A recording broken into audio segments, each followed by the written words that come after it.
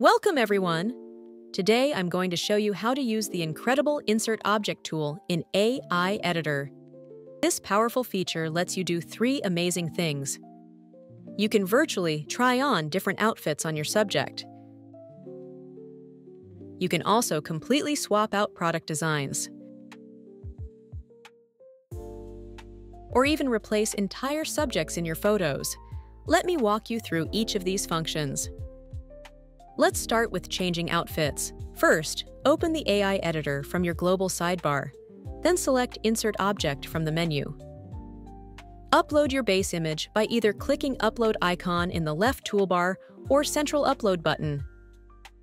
First up, choose your original image to work with.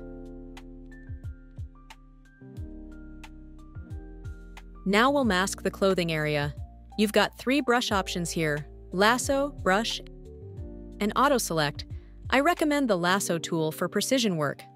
Now, carefully mask the area you want to replace. Mash too much? Use the unselect to clean up edges.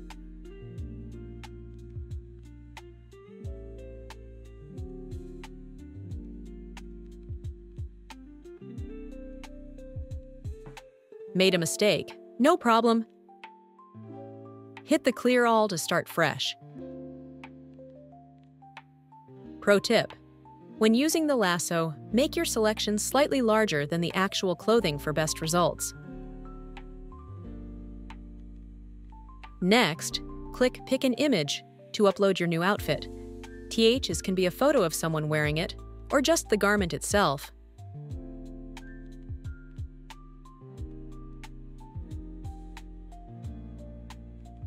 For better accuracy, you can describe the clothing details, or simply use your reference image and click Generate.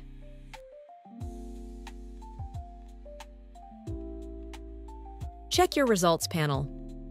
You'll see the outfit has changed while perfectly preserving the model's pose and surroundings. Now, let's try product replacement.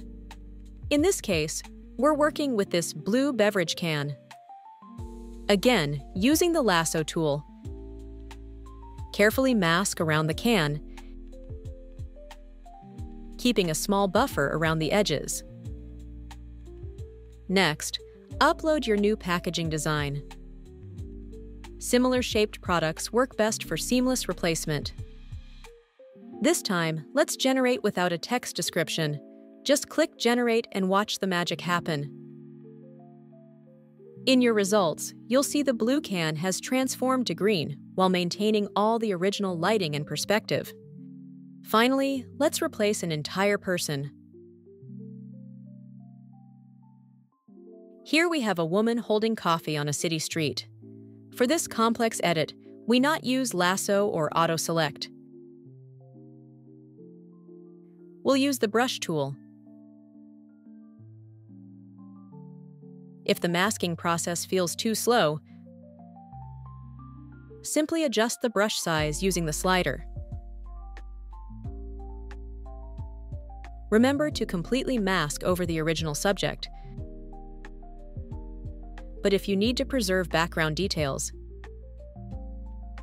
just switch to the Unselect brush to refine those edges.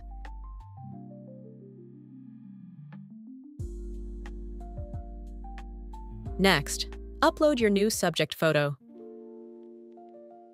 Dzine will automatically detect the person. Just click Generate and watch the magic happen. After generating, compare the results. Our coffee-holding woman is now a man with a camera, perfectly integrated into the scene. You're now an Insert Object Pro. Head over to Dzine using the link to try it yourself.